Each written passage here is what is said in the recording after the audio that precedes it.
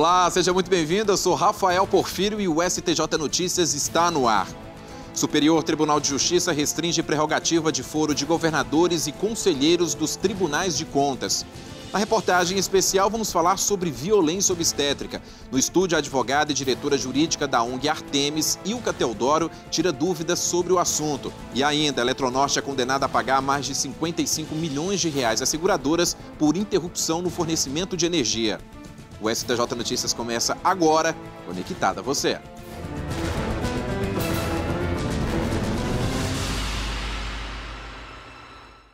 E o STJ Notícias começa com uma decisão sobre foro por prerrogativa de função. Os ministros do Superior Tribunal de Justiça decidiram que o chamado foro privilegiado só vale para governadores e conselheiros dos tribunais de contas quando relacionados a fatos vinculados ao cargo. Ao interpretarem o artigo 105 da Constituição Federal, os ministros consideraram que cabe ao STJ determinar os elementos da competência originária da Corte para o julgamento de ações penais. Por maioria de votos, foi adotado o entendimento do Supremo Tribunal Federal que restringiu o chamado foro privilegiado de parlamentares federais apenas aos crimes cometidos durante o mandato em razão dele. Quanto às demais autoridades com prerrogativa de foro no STJ, como desembargadores, por exemplo, os ministros vão decidir sobre a restrição no momento em que os processos forem pautados. E quando a separação de um casal envolve a guarda do animal de estimação? Bom, para a quarta turma do STJ, ex-companheiro tem direito de visitar o animal após o fim do relacionamento. A separação de um casal quase sempre é difícil. E quando envolve crianças no relacionamento, é ainda mais complicado. E o animal de estimação? De acordo com este veterinário, os bichinhos também sofrem com o rompimento dos donos. Os animais têm um sentimento muito grande pelos, pelos pais, né, pelos donos, pela casa. Então, é, é, inclusive comum pegar animais que adoecem quando os donos, que são muito pró próximos, viajam, ou mesmo em caso de separação, eles acabam adoecendo. Essa distância também afeta o dono que fica longe do bichinho. Em São Paulo, um homem entrou na justiça para conseguir visitar o animal de estimação que ficou com a mulher após o divórcio. O Tribunal de Justiça Paulista fixou as visitas em períodos como finais de semana alternados, feriados prolongados e festas de fim de ano. No STJ, a decisão foi mantida.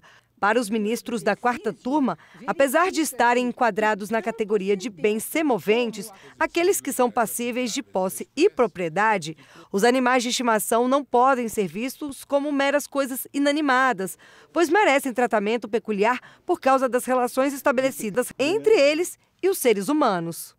E os ministros da terceira turma aqui do Superior Tribunal de Justiça determinaram que a advogada restitua 429 mil reais depositado em conta judicial por engano. O erro só foi percebido três anos depois e a advogada queria a aplicação de uso capião no caso. A decisão foi unânime na terceira turma do STJ. No recurso julgado pelos ministros, a advogada reclamava da decisão que determinou a devolução de 429 mil reais depositados indevidamente pela Caixa Econômica Federal em conta judicial vinculada a processo em que ela atuava. De posse do avará judicial, a advogada levantou a quantia e depositou em uma conta poupança própria. Mas o valor depositado era referente a outra ação judicial e deveria ter sido creditado em conta diferente. O banco só percebeu o erro três anos depois e moveu a ação de restituição de valor. Em primeira e segunda instância, a Justiça determinou a devolução do dinheiro, mas a advogada recorreu ao STJ e alegou a prescrição da ação e o uso capião, uma vez que o dinheiro permaneceu sob sua posse de boa fé por mais de três anos desde o levantamento ou cinco anos desde o depósito. A relatora do recurso no STJ, ministra Nancy Andrighi, lembrou que a Corte entende que o surgimento da ação ressarcitória não se dá apenas no momento em que ocorre a lesão ao direito, mas sim quando o titular do direito subjetivo violado obtém plena ciência do dano. A ministra não reconheceu a boa-fé da advogada e afastou o uso capião. A terceira turma negou o provimento ao recurso especial e a quantia terá que ser devolvida.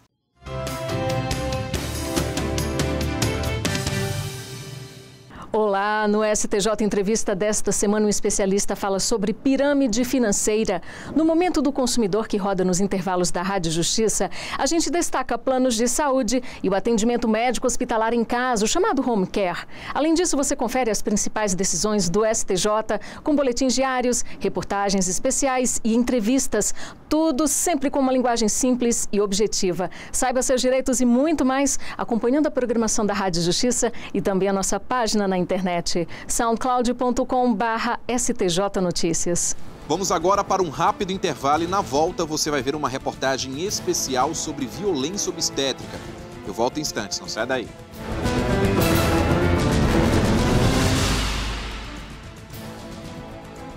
O mundo moderno gira em torno da velocidade da informação que precisa ser segura e confiável. Para atender estas exigências, o Superior Tribunal de Justiça elabora e disponibiliza duas publicações diferentes com o objetivo de divulgar a jurisprudência do tribunal: o Informativo de Jurisprudência e o Jurisprudência em Teses. Para acessar o informativo, basta entrar no site oficial www.stj.jus.br, clicar em Jurisprudência e, em seguida, em Informativo de Jurisprudência. Aqui você acessa as informações mais recentes sobre súmulas, recursos repetitivos e outros julgados selecionados. E pode consultar por edição, por data, com arquivos organizados em ordem cronológica e reunidos de acordo com o ano de publicação, ou separados de forma temática, por ramos do direito. Também é possível fazer pesquisa livre por assunto. Outra publicação quinzenal do STJ é o Jurisprudência em Teses, um caderno temático elaborado a partir da análise de toda a base de acórdãos e decisões monocráticas do tribunal, onde você encontra os entendimentos existentes no STJ sobre temas específicos selecionados de acordo com a relevância jurídica. Você pode consultar as teses por edição e separado por ramos do direito, ou fazer uma pesquisa livre por assunto. Fácil, rápido e eficiente. É a busca pela excelência no atendimento a você, cidadão brasileiro. Superior Tribunal de Justiça, o Tribunal da Cidadania. Estamos de volta com o STJ Notícias. A gravidez costuma ser um momento muito especial na vida de uma mulher, mas infelizmente as estatísticas mostram que muitas sofrem abusos e maus tratos durante o pré-natal e o parto. O aumento dos casos de violência obstétrica que chegam aos tribunais é alarmante e demonstra uma série de violações dos direitos fundamentais das mães e dos bebês. Recentemente, o Superior Tribunal de Justiça condenou médico e hospital por falhas cometidas contra gestantes. Para falar sobre o assunto e responder às dúvidas enviadas pelas redes sociais, eu recebo aqui no estúdio a advogada e diretora jurídica da ONG Artemis, Ilka Teodoro. Ilka, seja muito bem-vindo ao STJ Notícias. Muito obrigada, Ó, agradeço muito o convite. Antes da gente responder as dúvidas e, e bater um papo sobre o assunto, eu convido você e a você do outro lado da tela a assistir uma reportagem especial sobre o tema. Vamos ver? Vamos ver. Violência obstétrica. O termo assusta, com razão. Segundo a Organização Mundial da Saúde, a OMS, uma em cada quatro mulheres sofreu ou irá sofrer esse tipo de agressão no pré-natal ou durante o parto de forma verbal. Ele começou a falar, ah, aquela é louca, aquela é daquelas que gosta de parto natural, assim. Aí eles começaram a rir, eu fiquei ouvindo isso. Pediram para eu calar a boca, para eu deitar na maca, ficar em posição ginecológica. Ou de forma física. Fizeram episiotomia também não, pediram minha autorização e nem do pai também para fazer, né? Para ajudar a ver se ela conseguia sair. E tentaram até que a Isabela acabou saindo. Os relatos dessas duas mães tornam público algo terrível que aconteceu em um momento que deveria ser de plenitude absoluta para uma mulher: o nascimento de um filho. Jane fez o pré-natal e o plano de parto para a chegada da Isabela. Tudo ia bem, até ela dar entrada em um hospital público no Distrito Federal. Quando eu fui atendida, o médico constatou que eu já tinha 5 centímetros de dilatação e acabei sendo internada e eu tinha a minha acompanhante, que era minha irmã. Foi meia-noite que resolveram induzir o parto. Não me pediram autorização para fazer essa indução, só disseram que ia me colocar no soro. A bolsa rompeu, eu entrei no trabalho de parto, né? E aí a, a bebê travou. Quem conduziu o, o parto foi a residente, e quando a médica que estava acompanhando a residente viu que ela tinha travado, ela veio para meu lado direito e começou a forçar acima do meu estômago com, com o braço. E mandava fazer força, sempre fazendo força. Os médicos fizeram a manobra de Cristeler, uma pressão na barriga da mãe para empurrar o bebê no caso de parto normal. A técnica descoberta há mais de 100 anos é aplicada até hoje, apesar de não ser recomendada pela Organização Mundial da Saúde. No caso da Jane, a profissional teria feito pressão na barriga, mesmo sabendo que não havia dilatação suficiente para forçar a saída da criança. A minha mãe tinha me informado que a bebê, ele sempre deixou a mãe sentir a bebê na primeira coisa para depois levar para limpar. E aí foi quando eu vi que tinha alguma coisa errada que eles levaram ela lá para dentro e eu pedi que meu esposo fosse atrás dela para ver o que tinha ocorrido. Aí ele foi, depois de uns cinco minutos ele voltou, perguntou se eu estava escutando um choro lá longe, eu disse que eu estava escutando. Ele falou que estava tudo bem, mas só que só tinha um problema, que a bebê não mexia o braço. Eu perguntei se ela tinha alguma deficiência, né? Porque nós fizemos todos os pré-natais, pré-natal, ecografia e sempre tudo normal. Aí ele disse que tinha sido da hora do parto. O laudo feito logo após o nascimento, o hospital diz que o parto normal foi trabalhoso e levanta a possibilidade de lesão plexo-branquial, paralisia nos braços que acomete recém-nascidos durante o parto normal. O diagnóstico também cita a chance de ter havido fratura na clavícula. O caso foi registrado na Polícia Civil do Distrito Federal, que apura se houve suposto ato violento por parte da equipe médica. Eu sonhava em ter mais filhos, hoje eu já não quero ter mais filhos porque eu tenho medo de passar tudo novamente. Eu tive depressão pós-parto, síndrome do pânico. E fora que eu tenho que cuidar de todo o tratamento dela, nos virar como, como a família pode para poder tentar o melhor para ela, né? No Brasil, não existe uma lei federal sobre violência obstétrica, apenas resoluções do Conselho Federal de Medicina e regulamentações da Organização Mundial de Saúde sobre procedimentos adequados para o parto. Além disso, está em tramitação no Congresso Nacional um projeto de lei sobre o assunto. A ideia é que você criminalize a violência obstétrica. E por quê? Porque só o, a União pode determinar uma lei penal. Então a gente já tem, por exemplo, a, a Lei 19.097 de 2017 em Santa Catarina, que tenta implementar é, uma política pública para a redução da violência obstétrica, mas ela não pode criminalizar no estado de Santa Catarina essas ações. Então a ideia é que você reduza a violência obstétrica no estado, mas pode sim ser encaixado como um erro médico ou então a busca dos danos morais e materiais por, pelo que você passou. E é isso que a Johanna vai fazer: procurar a justiça. Mesmo informada sobre os procedimentos adequados e com um plano de parto, Johanna sofreu violência obstétrica nos dois partos, mas o segundo foi bem pior. A médica o tempo inteiro tentando fazer várias coisas desnecessárias, tentou também fazer episiotomia, o corte perineal, né? Aí eu consegui me esquivar, mas aí ela ficou indignada e começou a falar: ah, então é natural que você quer? Vai lacerar tudo isso aqui.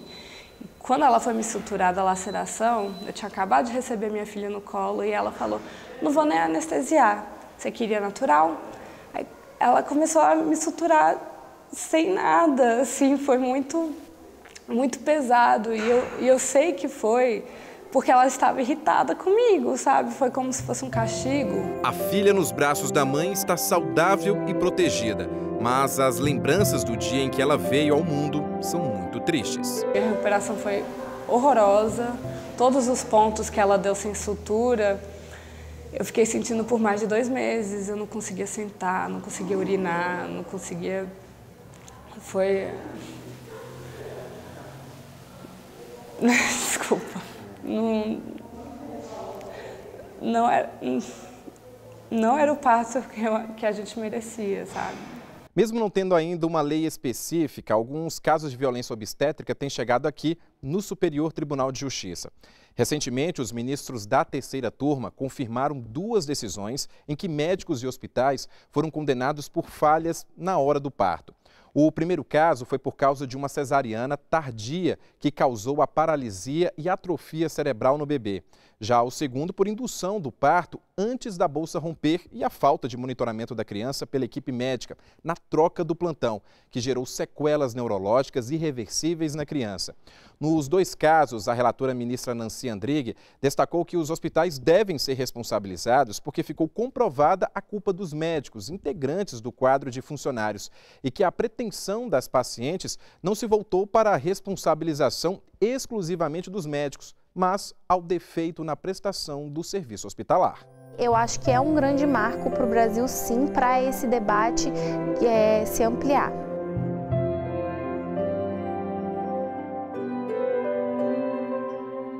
Ilka, nós vimos aí na reportagem casos de violência obstétrica, alguns estão chegando no STJ e também nas instâncias inferiores, mas não há um acórdão que fala especificamente que esses casos, apesar de serem violência obstétrica, não são violência obstétrica. Por quê? Então, o conceito de violência obstétrica no Brasil ele é um conceito relativamente recente, né? é um conceito novo, uhum. e as demandas não vinham sendo encaminhadas para o Poder Judiciário, enquadradas como violência obstétrica. A maioria das demandas são encaminhadas para o Judiciário como erro médico. Né? E justamente o trabalho da ONG Artemis é justamente para fazer uma capacitação uhum. do mundo jurídico para que essas demandas sejam de fato levadas ao Poder Judiciário como uma violação de direitos humanos, de direitos fundamentais, e não necessariamente como erro médico. Qual é a diferença? O erro médico, você pressupõe que existia uma conduta prescrita e que o médico errou na realização dessa conduta prescrita. No caso da violência obstétrica, é exatamente o contrário. São os médicos ou a equipe de saúde é, fazendo condutas que não são condutas prescritas. Uhum. Por exemplo, a reportagem traz a manobra de Cristeler. A manobra de Cristeler é uma manobra não recomendada pela OMS desde a década de 90. A episiotomia, também trazida pela reportagem, é uma, uma, um corte, uma intervenção que não é recomendada pela OMS. Isso consta das recomendações que foram é, liberadas pela OMS agora em fevereiro de 2018. Nós selecionamos algumas perguntas enviadas pelos telespectadores e também pelos internautas. Vamos ver aqui a primeira. É do Elvis Pereira, daqui de Brasília. Ele relata a seguinte situação: Minha esposa passou por uma cesariana de emergência com risco de eclâmpsia. Após o parto, teve sangramento por três meses e foi descoberto restos placentários. Procurada, a médica disse que a minha esposa tinha placenta acreta. Neste caso, não deveria ter sido informada no parto ou no pós-parto a indenização. Primeiramente, o que é placenta acreta? A placenta acreta é quando a placenta adere ao fundo do útero, então ela, ela fica agarrada né, na parede uterina e quando ela é retirada, quando a placenta sai, expulsa, pode ser que fiquem ou pedaços né, da placenta aderidos ainda ou que fique a lesãozinha no útero. Então é necessário fazer um procedimento de cauterização é, do útero nesse momento. E a placenta acreta é possível identificar é, através do exame é, ultrassonográfico desde o início da gestação. Né? Então, e no ela... caso, ele não foi identificado no pós-parto Não também. foi identificado, não foi feita a retirada total e não foi feita a cauterização devida. Né? Muito provavelmente isso é passível, sim, de indenização, é considerado uma forma de violência obstétrica. Nesse caso especificamente, pode haver um enquadramento ainda também como erro médico. Ótimo, temos mais perguntas. Gabriel Magalhães mandou pelo Facebook: a responsabilidade pelo erro médico é subjetiva ou puramente objetiva? O hospital e o plano de saúde podem responder pelo erro do obstetra? Então, primeiro ponto é, como eu já falei antes, é importante caracterizar que a violência uhum. obstétrica ela é, vai além do, do, erro médico, né? Pode ser que em alguns casos o erro médico também esteja presente, mas é muito importante que a gente caracterize a violência obstétrica como uma violação de direitos humanos. Então, é uma série de direitos que a mulher possui e que não são respeitados ou que não são garantidos. E não são garantidos e não são respeitados porque existe hoje todo um modelo de assistência obstétrica que não é, é adequado. E nesse modelo, nesse sistema que não é uma atenção obstétrica adequada, tanto o médico pode responder, como também o hospital e os planos de saúde. Então, nas hipóteses de violência obstétrica, responde todo mundo de acordo com as condutas e de acordo com a ocorrência. Nós mostramos na reportagem que não há uma legislação federal com relação ao assunto, mas há uma lei é, estadual que fala da violência obstétrica, mas não criminaliza, é isso? Exatamente. Existe uma lei estadual em Santa Catarina. Recentemente, agora dia 7 de junho, foi aprovada uma lei também aqui em Brasília. A gente já tinha aqui em Brasília uhum. também o Estatuto do Parto Humanizado. É, e existem diversas outras iniciativas pelo Brasil que tratam da temática da violência obstétrica. Qual é a grande questão? Essas leis podem prever uma melhor atenção ao parto, podem caracterizar o que é a violência obstétrica, mas não pode estabelecer que a violência obstétrica seja um tipo penal. Isso é privativo da legislação federal.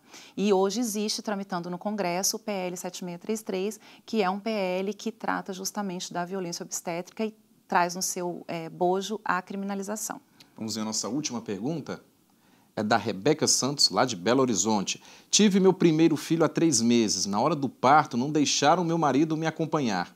A equipe médica disse que era regra do hospital. O hospital pode ter uma regra contrária à Lei 11.108 de 2005, que garante o direito de acompanhante durante o parto? Então, não pode. Uma regra hospitalar, ela não pode se sobrepor a uma legislação federal. Então, nesse caso aí, nós temos claramente uma violência né, obstétrica com uma violação de uma lei federal, que é a lei do acompanhante, que está em vigor no Brasil desde 2005, mas infelizmente até hoje temos diversos hospitais, principalmente é, na saúde suplementar e no SUS, que não obedecem à lei do acompanhante. É isso, Wilco. Só tenho que agradecer a sua participação Muito aqui hoje obrigada. no STJ Notícias. Muito obrigado. Obrigada a você. Vamos para mais um rápido intervalo e na volta você vai ver terceira turma condena a Eletronorte a pagar mais de 55 milhões de reais a seguradoras por interromper o fornecimento de energia. Eu volto em instantes, não sai daí.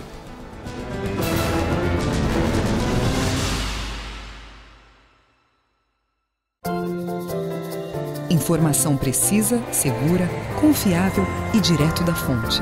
Na página da jurisprudência do Superior Tribunal de Justiça, você encontra tudo isso e muito mais. Para acessar, basta entrar no site oficial www.stj.jus.br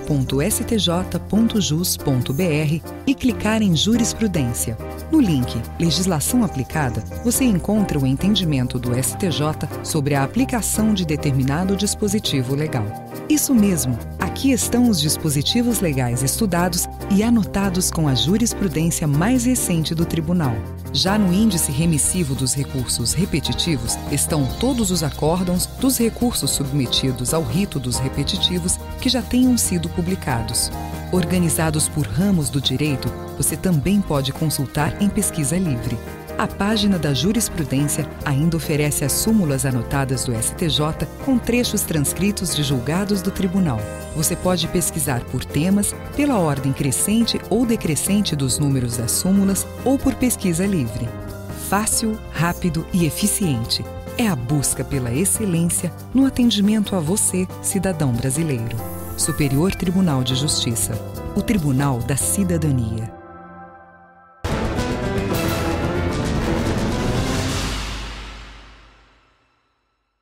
Estamos de volta com uma decisão dos ministros da terceira turma aqui do STJ. Eles mantiveram a condenação e a Eletronorte vai ter que pagar mais de 55 milhões de reais às seguradoras por interrupção do fornecimento de energia. O caso aconteceu em 1991. Segundo o processo, houve um acidente na linha de transmissão Tucuruí que interrompeu o fornecimento de energia ao parque industrial da empresa Albras Alumínio Brasileiro por mais de 12 horas. O acidente foi causado por falha em uma das peças da linha de transmissão. A empresa Albras recebeu indenização de um grupo de seguradoras por causa da falta de energia. As seguradoras, então, entraram na justiça contra a Eletronorte, pedindo ressarcimento dos valores pagos. O pedido foi aceito pelo Tribunal de Justiça do Distrito Federal. Em recurso especial ao STJ, a Eletronorte alegou, entre outros pontos, que estaria prescrito o pedido de ressarcimento e que não caberia indenização, pois foi um caso fortuito. O relator do recurso, ministro Moura Ribeiro, destacou jurisprudência no STJ no sentido de que o prazo prescricional não se aplica às ações de cobrança movidas contra sociedades de economia mista. Em relação à alegação de caso fortuito, o ministro lembrou que a orientação do tribunal é a de que não se deve excluir do nexo de causalidade o chamado fortuito interno, eventos que, de alguma forma, possam causar riscos à atividade. Por isso, a terceira turma rejeitou o recurso especial da Eletronorte. Médico e plano de saúde foram condenados a pagar indenização por negligência durante pré-natal à mãe de bebê que nasceu com microcefalia. A decisão é dos ministros da terceira turma. Durante o pré-natal, a gestante deve fazer exames que identifiquem infecções e alterações que podem ser prejudiciais ao bebê. A toxoplasmose é uma delas. Este médico explica os riscos desse tipo de infecção e as alterações neurológicas que pode causar. E tratando é, precocemente, você é, consegue evitar que este bebê nasça com ah, as alterações neurológicas decorrentes da toxoplasmose. Mesmo ela tendo um diagnóstico precoce, um tratamento precoce, ainda há sim chances de que esse bebê nasça com a, a síndrome da, da, da infecção congênita pela toxoplasmose e suas consequências, que são muito variáveis, pode ir desde uma perda visual, o atraso do desenvolvimento, um déficit cognitivo, uma microcefalia. Então há um espectro de gravidade, desde algo um pouco mais leve até um, uma gravidade bem maior e com consequências neurológicas é, muito maior. Entre os sintomas da toxoplasmose na gravidez estão febre baixa, mal-estar, ínguas inflamadas e dor de cabeça. Mesmo quando a gestante não apresenta nenhum dos sintomas, o exame deve ser realizado durante o pré-natal, para que, em caso de infecção, inicie logo o tratamento. Foi o que aconteceu com uma mulher em São Paulo. Aos três meses de gravidez, ela começou a sentir fortes dores de cabeça e apresentou quadro de perda de peso, o que foi relatado ao médico. Mesmo assim, o exame de sorologia para toxoplasmose não foi solicitado. Sem diagnóstico e tratamento adequado, o bebê nasceu com cegueira devido às sequelas causadas pela microcefalia cefalia. A família buscou a justiça, acusando o médico de negligência. Baseado no laudo pericial, o Tribunal de Justiça de São Paulo reconheceu a responsabilidade do médico e o condenou, junto com a operadora do plano de saúde, solidariamente, a pagar indenização por danos morais em 300 mil reais. O acusado recorreu ao STJ, onde alegou que a mãe não havia informado que durante o primeiro trimestre da gestação trabalhou em um depósito de bebidas, local onde há risco de contaminação. A relatora do recurso especial, ministra Nancy Andrighi, destacou que o Tribunal Paulista levou em conta que, diante da constatação da falta de imunidade da mãe, o médico deveria ter solicitado, no curso da gravidez, exames de sorologia adicionais. A possibilidade de a mãe ter deixado de informar as condições de trabalho não dispensa o médico do diagnóstico e das condutas profissionais necessárias. A condenação foi mantida e o entendimento foi seguido pela terceira turma, que, com base no valor fixado pelo STJ em casos semelhantes, reduziu o valor da indenização para 100 mil reais.